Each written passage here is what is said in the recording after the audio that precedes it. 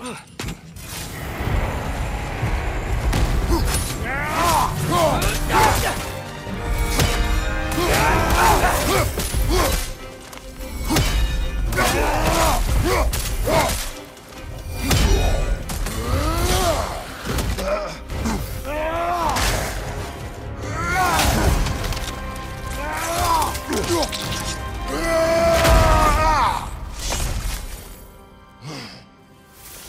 Hey, this is where we found Tyr. You know, I don't know who had a worse time of it being locked up. Him or me. As you said, your prison at least had a view. Aye. But with a view comes the ability to mark the passage of time, and watching the days pass, one by one. It's not something I'd wish upon anyone.